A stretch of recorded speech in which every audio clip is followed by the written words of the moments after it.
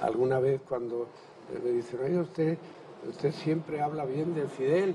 Digo, bueno, yo hablo de Fidel, que yo conocí, que yo he querido siempre en el colegio, porque inclusive, tengo que decir, porque es una verdad, que a mí una vez me salvó la vida.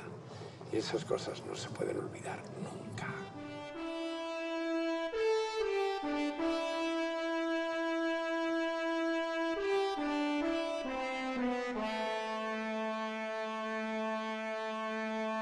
Salimos una mañana para subir a un monte allá por la Sierra de los Órganos y enseguida empezó a llover torrencialmente, como llueve en Cuba, como llueve aquí, el trópico, ¿no?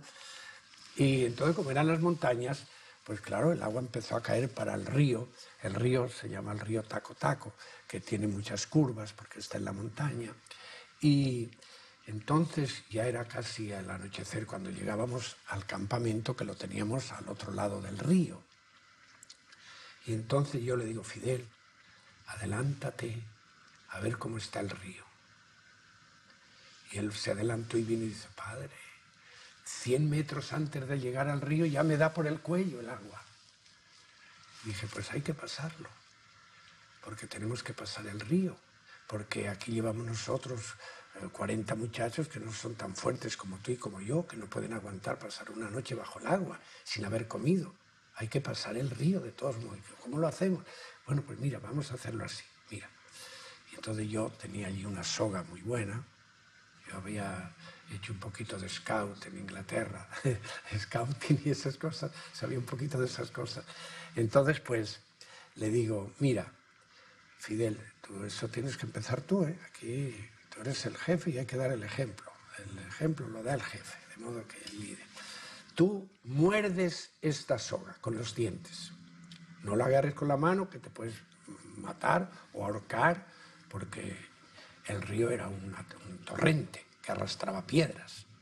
Después nos enteramos que aquella tarde había muerto allí un guajiro con su caballo.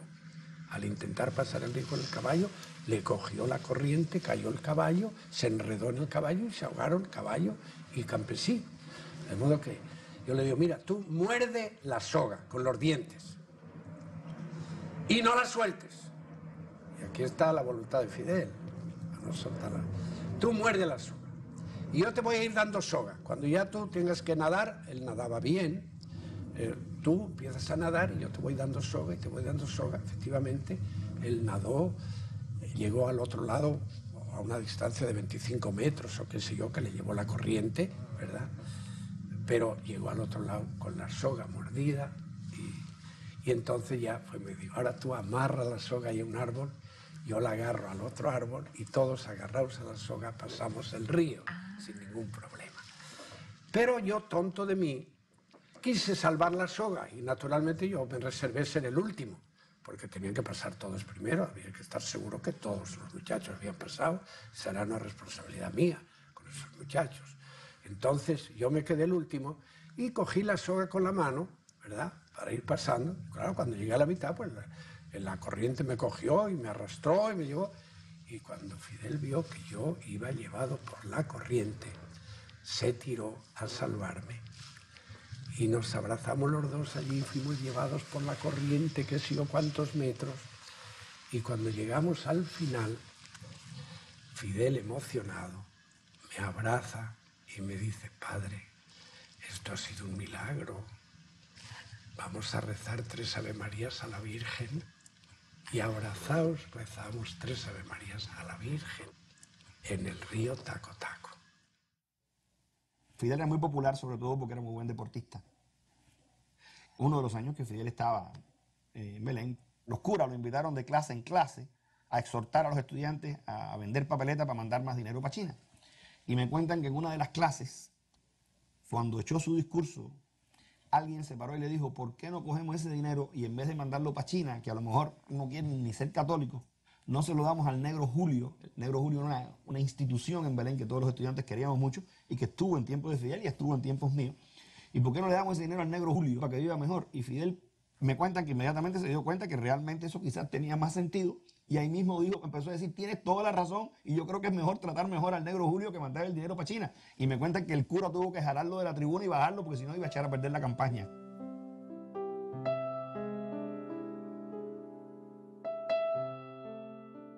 Yo soy Ángela Castro Ruz, la hermana mayor de Fidel, que le llevo cuatro años. Cuando íbamos a bañarnos al arroyo de allí del, del Batey, este, a veces iban algunos de los muchachitos de la zona y se bañaban también con nosotros en la poseta aquella. Y Fidel vio un día a uno de los niños que estaba tan mala su ropa y cogió y le dijo, llévate, mira, ponte mi ropa. Y dice, está loco, y si tu mamá me ve, me dice que yo me la robé. Dice, no, porque yo le voy a decir que la corriente del río se la llevó y, tú vas a decir que te la encontraste enganchada en una mata que estaba a la orilla del río, por allá abajo, y entonces ya ella se, ya sabe que, no, que tú no eres ladrón. Y entonces así lo hizo, pasó todo como lo, como lo previó. Mi mamá ve al otro día al chiquito con la ropa en la tienda y dice, mira la ropa que se le perdió a Fidel, ¿fuiste tú? Dice, no señora, yo no, yo me la encontré en, en la orilla del arroyo, este, enganchada en unos matojos, ahí, unos males. Entonces, y las recogía, no sabía que eran de Fidel. Ah, bueno, está bien. Pero ella era la primera que cuando veía a alguien así mal, le, le regalaba ¿Y qué edad tenía Fidel en aquel tiempo? En aquel tiempo debe haber tenido seis años, seis años y pico. ¿Usted conoció a Benito Castellano? Habilito, sí, como no, sí, él a la par que nosotros, allí en Virán, porque ellos, nosotros vivíamos a 10 kilómetros del central y ellos vivían en el central, tenían su farmacia allí y era la única farmacia, además siempre se iba al lugar Además de ellos mantener relaciones de amistad con la casa. Como mi padre era el farmacéutico, pues entonces eh, alquilaba un automóvil y dice, vamos a hacerle la visita a, don Castro, a don Ángel. Y entonces, pues mamá, mi hermana más chiquita y yo, pues íbamos allá y entonces pues nos recibía don Ángel con Lina y los hijos y los hijos, la familia, tomábamos café y conversábamos, era una visita de cortesía. Y yo recuerdo, a mí me impresionó una, un, un diálogo, porque en aquella época eh, Raúl, eh, Raúl era, era muy bellaco, era muy bellaco y un poco que le daba dolores de cabeza al, viejo y a la mamá. Sí, sí. Y entonces dice, dice el viejo Castro, este muchacho, eh, algo así quiso decir, es un poco rebelde, un poco indisciplinado, algo así. Y entonces Fidel intervino y dijo, bueno, se puede ser o indisciplinado o rebelde, pero siempre que esa actitud tenga un sentido en la vida. y a mí me quedó, me impresioné mucho porque él aprovechó para, para sentar una pauta. Yo conocí por primera vez a Fidel Castro en 1952 en la Universidad de La Habana. Allí lo conocí, empezamos a hablar, estaba disgustado con la cuestión del golpe de Estado. ¿El golpe de Estado del 10 de marzo? Sí, del 10 de marzo. Tenía un libro aquí en el brazo, un libro, no recuerdo todavía, un libro de portada azul con con un, con un Lenin a relieve, una cabecita de Lenin a relieve. Sí, me llamó la atención, dice, bueno, pues aquí todo el mundo le echa a los comunistas, como este hombre anda con ese libro aquí. Vaya, desafía hasta eso. Para mí ya era, si no comunista, por lo menos tenía bastante inclinación. Vaya, que en ese momento él, allí en la Plaza Cadena, tuviera un libro abajo del brazo, ¿eh? con la efigie de Lenin. Vaya, no, era, fácil. En aquellos momentos y el para abajo, hablaba, bla, bla, bla, Yo no era comunista. No, no, no. Tenía mis inquietudes sociales, pero comunista no, no. Yo no era. No. Yo fui comunista después del triunfo de la revolución. Ya que me hice, ya, ya abracé la causa de, del socialismo, del marxismo-leninismo y, y ya me muero con Fidel desde aquella época apuntaba hacia lo que es, solo que nosotros no nos dábamos cuenta. Es decir, nosotros sentimos que había algo excepcional en aquel muchacho, Pero nosotros no pudimos prever la dimensión de Fidel, desde luego.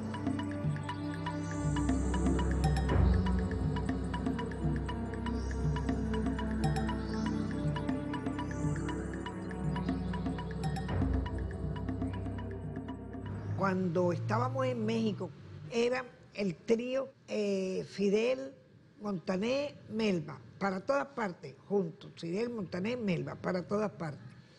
Nosotros dos nos íbamos a Cuernavaca, en luna de miel. que con el pretexto que él le quedaba todavía con un interrogatorio que hacerle a ella, que, que sería bueno que, ella se que, que él se incorporara también a, a la supuesta luna de miel. Entonces, el día que nos íbamos para Cuernavaca, dice Fidel que, que él se sentía tan cansado, que necesitaba descansar un poco, que, que él podía meter unos cuantos libros en, en su maleta y entonces se iba pa- con nosotros para Cuernavaca. Y a Chucho le dio el arrebato. Entonces, no, no puede ser. No, no, no, no, vamos a hacer una cosa. Te vas tú y Melvin yo nos quedamos acá. Chucho se arreba. No, Montané, no te pongas así. Ay, Montané, mira, qué cosa más grande. Parece que yo te he ofendido. No, tú no me has ofendido, pero tú te vas y tú descansas allá y Melvin y yo nos quedamos acá. No, no, de ninguna manera, yo me quedo. Yo me negué rotundamente. Es la primera orden que incumplí. El he incumplido él, es la, la única y primera y única orden. Recuerdo que por allá, por 1960, 1961, eh, existían eh, grupos de bandidos alzados por inspiración de la CIA que diariamente le bombardeaban en paracaídas eh, las armas norteamericanas con la cual pretendían destruir la revolución. Recuerdo que en estos episodios Fidel le gustaba, se interesaba por conversar con los prisioneros de guerra, para conocer cuáles eran sus intenciones, cuáles sus motivaciones. Y así mandó a buscar a uno de los cabecillas capturados. Esto ocurrió en Topes de Collante. Y eh, Fidel planteó que quería conversar a solas con el prisionero, porque sentado uno frente al otro, Fidel le preguntó, ¿por qué te alzas contra la revolución? ¿Por qué combates la revolución? Y el individuo empleó una frase que repitió hasta el cansancio cada vez que Fidel le hacía la pregunta. Y este cabecilla contrarrevolucionario ¿Y qué decía? le decía eh, que él se había alzado porque estaba por la democracia representativa, por el Parlamento. Y Fidel le decía, bueno, pero tú tienes que saber por la edad que aquí el Parlamento nuestro era un Parlamento en su mayoría de bandidos, de pillos, de ladrones, que no decidían nada en los destinos del país, que era una mascarada de democracia. Y entonces Fidel le volvía a hacer la pregunta y el individuo volvía a decir lo mismo. Y llega un momento que Fidel se desespera un poco, cosa que no es característico en él, pero ocurre. Eh, tomó al prisionero por la, por la ropa, por aquí, y figúrese Fidel Castro, que es un gigante con aquel hombre que era mucho más pequeño que él, lo alzó con furia y en ese momento él y yo cruzamos una mirada. Él se dio cuenta que estaba fuera de sí y lentamente bajó al prisionero hasta la silla, le dio la espalda y se fue. Eso era ya como las 11 de la noche, como a las 5 de la mañana. Fidel me despertó y me dijo solamente, vamos. Y entonces Fidel, para sorpresa de aquel hombre, Fidel le pidió disculpas. Le dijo que había estado eh, un tanto fuera de sí, eh, reiteró que por favor que, comprendiera esta situación y quería eh, continuar la conversación con él. Y a partir de ese momento desarmó moralmente al prisionero, que entonces sí entró en una conversación eh, con Fidel, tal como Fidel quería, para ver cuáles eran realmente los motivos de su acción contrarrevolucionaria. Y bueno, pues eh, comprendimos una vez más eh, quién era Fidel en su, en su grandeza, pidiéndole inclusive disculpas, perdón a un prisionero por haber, por haber intentado maltratarlo.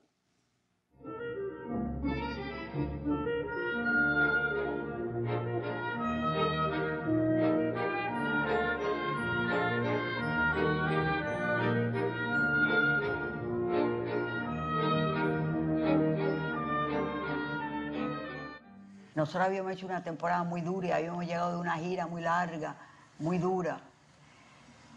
Y él vino a hablar con nosotros y dice, ustedes necesitan descanso. Nosotros tenemos un lugar que vamos a abrir. ¿Qué ustedes piensan? ¿Pueden ir a ese lugar? Digo, bueno, ¿cómo no? A Guamá. Y nos dio entonces unos días de descanso en Guamá a toda la compañía. Fue un precioso, unos días preciosos. Ay, nosotros pasamos una cosa de lo más graciosa.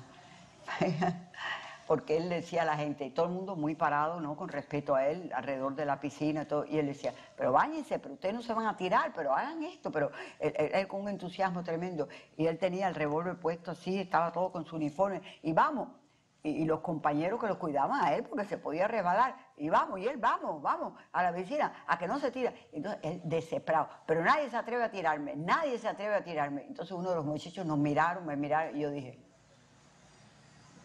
y entonces parece que él vio mi gesto de mi cabeza, ¿no? Tírenlo. Entonces él hizo así, se empezó a quitar el, todo eso, se quitó el saco, dice, no se atreven, no se atreven. Fue un grupo de muchachos y para el agua fue. Y fue tan divertido, parecían niños todos, parecían niños, la, la, la, la diversión más pura que he visto yo. He, he maintains his child's mind, and that is very wonderful. Not many people can hang on to the child's curiosity, and he does. And I've seen it. I mean, I when when uh, he reunited with Angela when we all went to see him, and they were embracing, and he thought nobody was looking. He was examining her dreadlocks.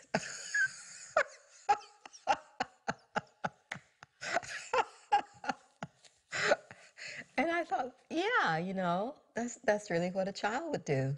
But but by the time you're a grown up, you know, you're not supposed to, you know, you're but of course you should. You should touch the world.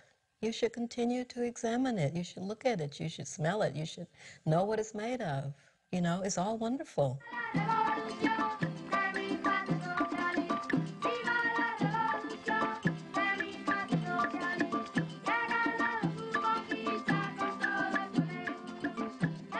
Castro is a uh, is a phenomenal leader. We talked maybe for almost two days and two nights. He gets, he goes on and on. We was talking. He was talking. He was talking. He was speaking English. We were talking, you know, back and forth. So at some point I said, Castro, just just drop the the uh, the translator. Let's just talk. And he just began to talk English. And he did. And he talked English. And so I said, now, the day you asked me to go to your school with you, uh, and, and so I did. Tomorrow I want you to go to church with me. He said, I haven't been to church in 27 years. I said, well, go in I'm, I'm your guest. He said, well, I will. And we walked down the street from university, walked into the church, and those ministers saw Castro of that church. They did not know what to think. We walked in and sat down, and we, we both had remarks.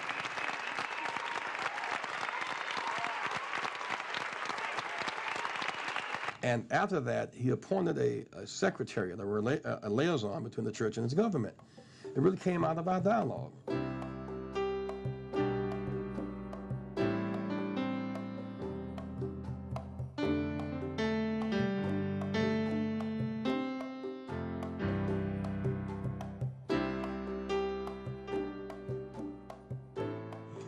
and I broke a record that people said would never be broken. You know, I, you know, people didn't want me to break the record, and they was against me simply because of the color of my skin, you know, and things like that. He knew all about that. Actually, President, did he enjoyed playing baseball or basketball? I understand he was ¿Qué le quite a gustaba a usted? basketball ¿Qué player, too. disfrutaba más usted jugando, el béisbol o el básquet? ¿Dónde habría llegado más lejos? Where would I have uh, been able Como to do better? basquetbolista. I think that as a basketball player, I would have done much better. Tirar las Ways bolas. to throw the balls. Yo me creía que era bueno. Well, at least I thought it was good. I heard he was good. Subjetivo, subjetivo. I had to take advantage of the fact that here I was standing in front of one of the the world's greatest ambassador, I guess, in the world, you know, a name known all over the world, and and here I am standing before him, and uh, I said, I got to get some baseball signed. I got four, and that's going to stay with me and my grandchildren and my kids. Wow. Well, I just think that uh, once in a lifetime you can get someone like the president of Fidel Castro to sign a baseball to you, you know. Yo siento que Fidel disfruta los triunfos de los negros, la verdad. Que si ve un, un pelotero que es negro, uno se admira. Si ve un basquetbolista negro, se ruboriza de emoción. Y imagínense, yo sí lo siento, yo sí lo siento, Estela, yo sí lo siento. Yo, yo sufrí mucho el racismo aquí en mi país. De Cuba, Ana Fidelia Quiroz.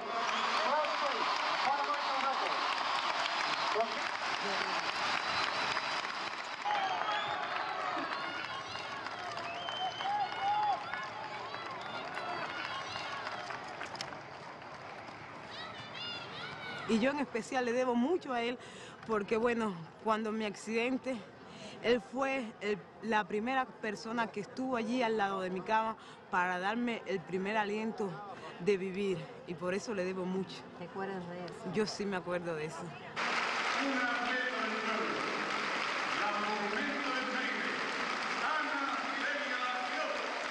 Cuando regresé de los Juegos Centroamericanos de Ponce, después de mi accidente, cuando todo el auditorio se paró y empezó a aplaudirme, y entonces él me fue a entregar la medalla.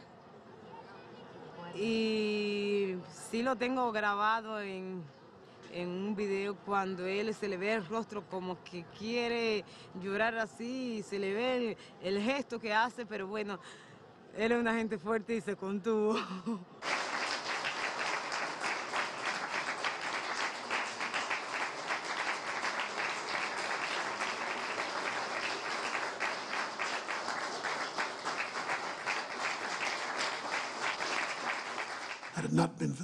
presence, that South Africa would not only have not been defeated, but it would never have to come to the table of negotiation with Nelson Mandela for his release and ultimately his taking over as the head of state of that country.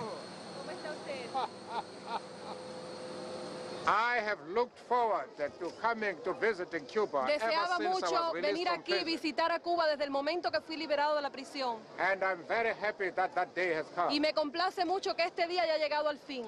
I sincerely hope that it will be possible for me to address Sinceramente tengo la esperanza de que sea posible durante mi estancia poder dirigirme a todo el pueblo de Cuba para transmitirle a todos mis simpatías por su país. Mientras tanto, pido que recuerden que los quiero mucho a todos.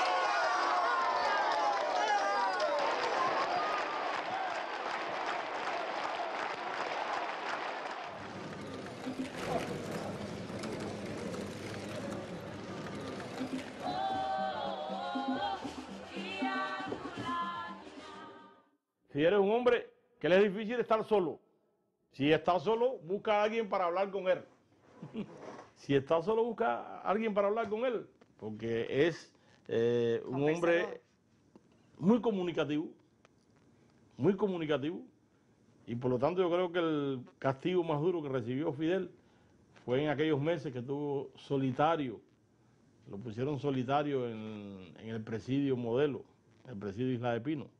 Fue lo más duro que se le castigo que se podía inventar para Fidel, porque Fidel constantemente necesita comunicarse, hablar, comentar sus ideas, sus proyectos. Y cuando Raúl me cuenta que cuando le llevaron a Raúl para allí, para la misma celda, pues entonces ya hablaba constantemente con Raúl. Y a veces a medianoche lo despertaba para decirle, tengo un proyecto, para cuando triunfemos, ¿no? Para cuando la revolución triunfe. Y le empezaba a hablar de un proyecto. Raúl le decía, déjame dormir, me lo puedes decir mañana perfectamente y no a medianoche. entre Raúl y Fidel, de, admiración por Raúl, por su hermano, de respeto, de cariño y de lucha, de verdad, desde, Moncada. Siempre lo he visto, verdad, él a buscar a su hermano, Fidel tiene mucho cariño a Raúl, mucho afecto, igualmente me parece que corresponde, lo va a ver, Donde quiera que esté su hermano, él desaparece allí, la verdad. Son dos seres que se completan y que casi sin hablar se distribuyen las tareas. Son dos hermanos, pero no por la sangre. Son dos hermanos porque la revolución los une de un modo indisoluble. Bueno, hace unos días eh, tuvimos una reunión de camaradas, de amigos. Se habló de la amistad, del cariño, de la hermandad, de la admiración de Fidel por Raúl.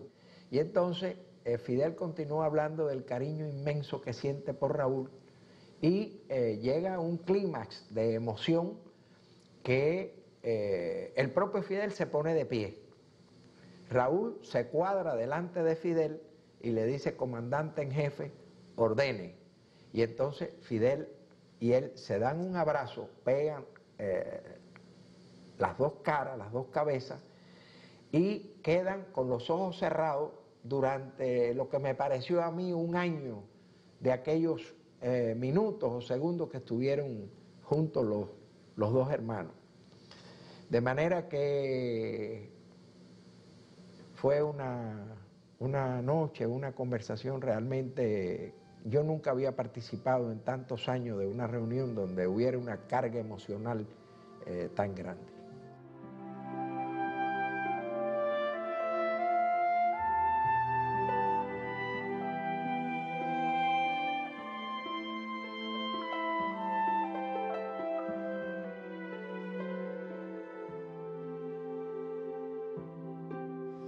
Esos días yo veía carteles, fotos de mi papá con letreros abajo, y yo decía, ¿y esto qué es? ¿Qué, ¿Por qué? No? No, no tenía una explicación lógica y preguntaba. Todo el mundo me daba una explicación diferente. Ya entonces llega un momento en que él nos llama a mi hermana Hildita y a mí y habla con nosotros esa noche. Muchos tiempos después yo supe que él quería darnos la noticia esa noche, pero mi mamá no se lo permitió. Mi mamá quería dármela a mí y ella. De todas maneras, él como que nos preparó, ¿no? Nos dijo algo así que él había recibido una carta de mi papá, cosa que no era real, pero bueno, era lo que él nos decía. Había recibido una carta de mi papá donde mi papá pedía que si algún día él caía combatiendo, nosotros no lloráramos por él, porque él habría muerto entonces como quería y cuando un hombre muere como quiere, no se debe sufrir por él. Algo así, decía mi tío.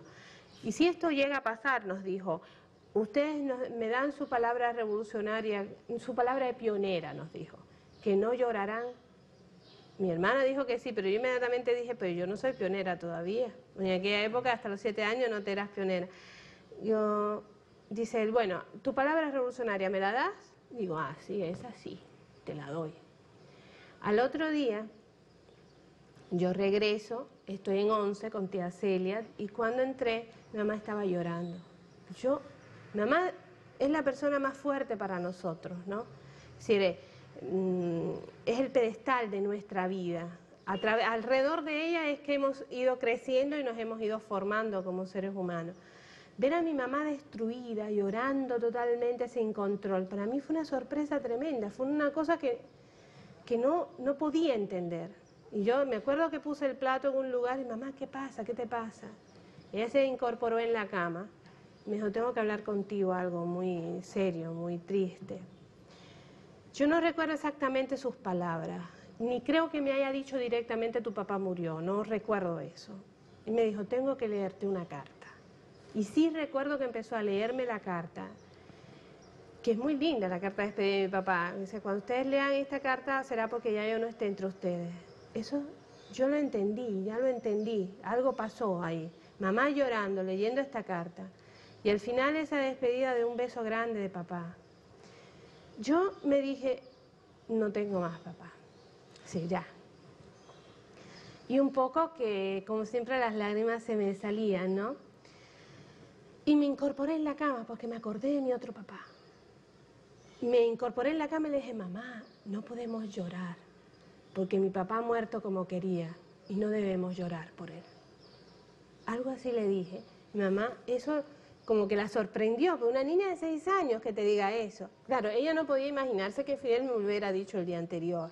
y simplemente lo estaba repitiendo, ¿no? Pero para ella fue un impacto y la ayudó en ese sentido.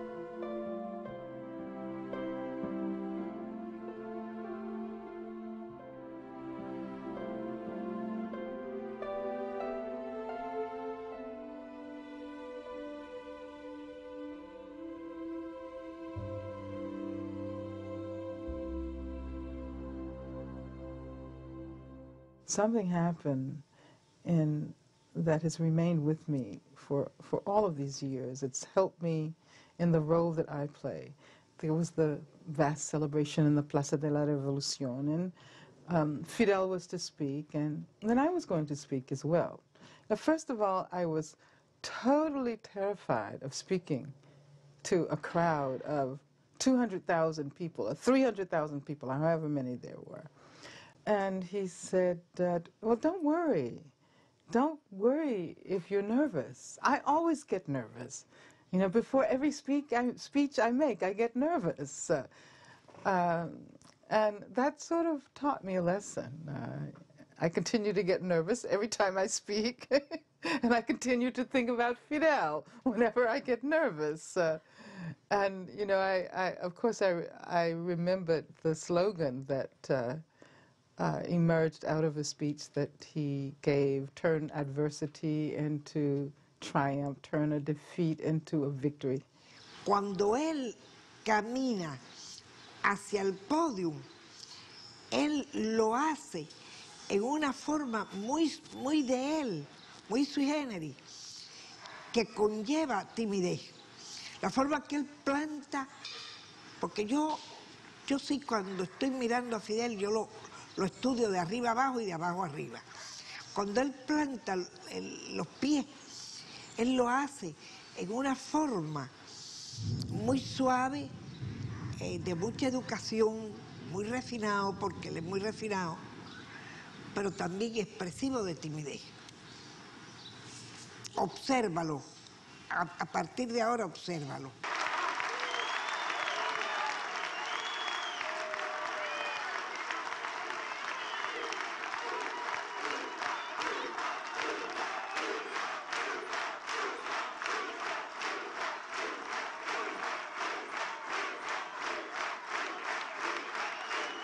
Fidel habla com as manos. Esse é um dos recursos cênicos mais fortes que domina. São muito expressiva. É, sempre apunta o dedo, imperialismo, né? É, se põe a reflexionar quando hace as pausas, se põe os dedos assim na cara, né? Se pergunta, é, ou então se hace esta expressão com os dedos. Isso é, muito forte ele, a, a, a coisa das manos. Es muy fuerte. En Fidel hay una extraña relación entre las manos, los ojos, las expresiones del rostro y desde luego su voz, que es algo muy particular. ¿Quién podría creer que cinco años después de la desaparición del campo socialista aquí estaría Cuba? Revolucionaria, socialista, luchando, resistiendo. ¿Quién podía decir que estaríamos haciendo las cosas que estamos haciendo ahora? ¿Quién podía imaginarlo?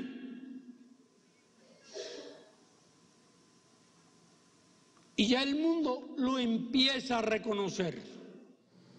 He sido eh, uno de los cubanos privilegiados que ha tenido la oportunidad de, de estar presente en muchas de las de las conversaciones. Yo recuerdo que en uno de los eventos internacionales muy importantes, no recuerdo ahora cuál, eh, Fidel y Gabo estaban conversando en un salón privado en el aeropuerto de Rancho Bellero y por los cristales del lado fuera de donde hablaban Fidel y Gabo, eh, había muchos periodistas, muchos periodistas internacionales, cámaras de televisión y todo el mundo preguntándose de qué estarán hablando eh, estos dos seres humanos, pensando que estaban hablando cómo resolver los problemas que estaban palpitando en ese momento. Y sin embargo, yo que estaba presente, puedo decirte que lo que estaban conversando era las distintas maneras que Fidel sabía cocinar la langosta. Fidel es muy buen cocinero y tiene una complicidad de, con Mercedes de, cocina. Si yo te digo una cosa, nos, va, nos van a acusar de violar las leyes, las leyes cubanas, pero Mercedes siempre trae cosas de comida de contrabando para preparar, para preparar, para preparar acá, sobre todo bacalao. E algumas vezes ele ha cozinhado para mim, outras vezes eu ha cozinado para ele. Sobretudo intercambiando algumas receitas de camarones. E temos algumas competências em la cocina, porque ele hace os camarones de uma maneira e eu hago de outras. Então nos ponemos aí a discutir qual de los dos são melhores. La primera vez que yo vi a cocinar a Fidel fue en presidio, haciendo unos espaguetes para todos nosotros allí. Sí. Sí, pero se incomoda cuando, cuando alguien le tapa la cazuela, no, no, no, que yo de madre, vaya. Permite que le levanten la, la tapa. ¿Usted levantó la tapa alguna vez? No, no, yo soy incapaz de levantar nada de nada. Yo lo veo ahí que él le cocina, cocinó, papá. ¿Comió la comida? Eso sí, como no, Está bueno. sabrosa. Es un buen espagueti. Una vez, en estas sesiones de cocina, se le metió en la cocina a Mercedes y le estaba tratando de corregir lo que estaba haciendo y decía que no cortes esto así, que no hagas esto. Y Mercedes ya le dijo con mucho afecto, mire, comandante, usted mandará en su isla, pero yo mando en mi cocina. Y se fue, Fidel me dice, me ha dicho una cosa que tiene toda la razón. Ella manda en su cocina, de manera que fíjate qué bueno que me lo dijo. Me pregunta cómo cocinas esa, no la pones a la plancha. No, yo lo hice ahí a la candela, lo que usted. No, tu- tus langostas. Ah, la langota sí. Eso no es la, la plancha ahora. Este es el error. No llevar la plancha, la seca mucho y la pone dura. Pero yo nada más le doy un minutico. En la fórmula mía con los dos No, esa es la mejor, esa es la mejor. La mejor. La mejor. Pero lo digo porque recientemente lo probamos. Sí.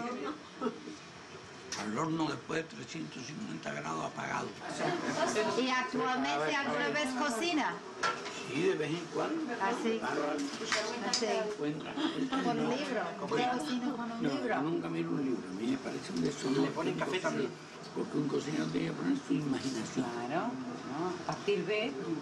Es un arte de la cocina también de mezclar cosas. Es el arte de mezclar cosas. Well, um, on one of our trips uh, to Cuba, and we have met him, we had met him several times. I said, Harry, what, what could we bring? Like, um, you know, a wonderful book, or what could we bring that would be appropriate?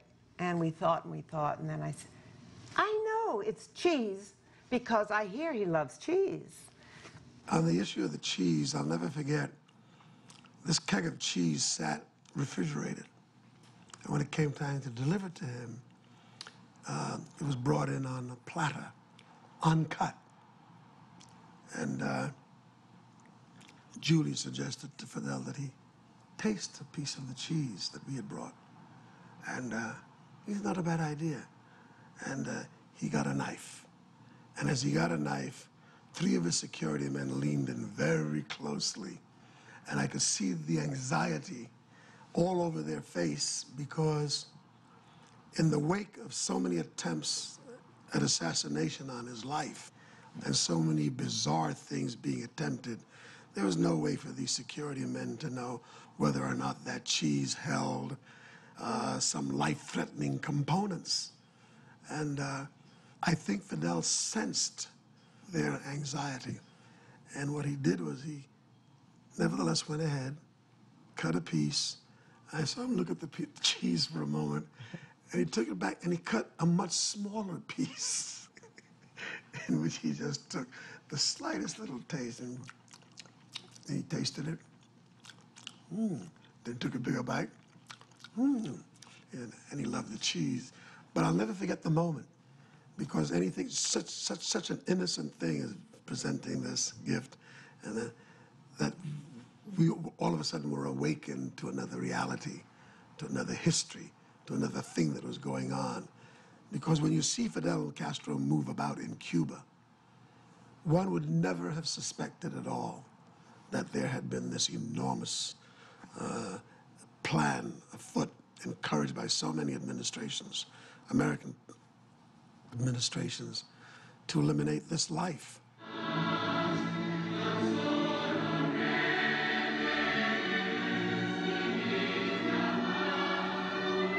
Yo diría y digo que sí hay una relación especial, que hay una gran amistad entre el Gau y Fidel. Realmente lo que consolidó esa amistad fueron los libros. Porque le pregunté, bueno, ¿qué estás leyendo? Y me dijo, no tengo tiempo de leer por estar leyendo documentos. Y pero eso es horrible, es esterilizante y es estresante. Yo te voy a traer libros para descansar. Y empecé a traerle bestsellers. Él no traía, no traía bestsellers porque todo el mundo piensa que como es Fidel Castro dan libros sumamente importantes, que generalmente son sumamente aburridos. Entonces recuerdo que el primero que le traje fue el, el Drácula de Stoker, el original. Estaba en unas maniobras militares, en, no era en Pinar del Río, no recuerdo dónde. Estuvo trabajando todo el día. Le di el libro como a las 11 de la noche. Y al día siguiente llegó a las maniobras sin dormir un minuto. Me dijo, no me ha dejado dormir el maldito libro que me trajiste. I brought my books because some of them are in Spanish. And I pushed them across the table, and he said, Oh, just what I've always wanted the color purple in Spanish. and then he took uh, The Temple of My Familiar, which is my favorite, and he immediately started to read it. And we were all sitting around the table, and he said, You know, he said, Oh, you know, I'm so glad to have novels because I'm so sick of reading government's, government reports. and I, I was really so charmed because, you know, it was, um, it was a moment. The people that I have have you know taken to Cuba, that is, I, I've helped make their trip possible, um, have been largely connected with um, academic and cultural worlds. You know, um, I've taken a lot of famous people. I remember being very excited to to go on a plane with Gregory Peck. Um, I've taken Sidney Pollack and Treat Williams and Robert De Niro and Chris Walken and, and Jack Lemmon and his family. And there have been a lot over the years. And when they've met Fidel Castro, um, first of all, I think he has been as interested and excited to meet them as they have been to meet him. Uh, I remember the, the night, for example, that Danny Glover met Fidel Castro here in New York at a reception. And Danny Glover was so excited about meeting Fidel Castro.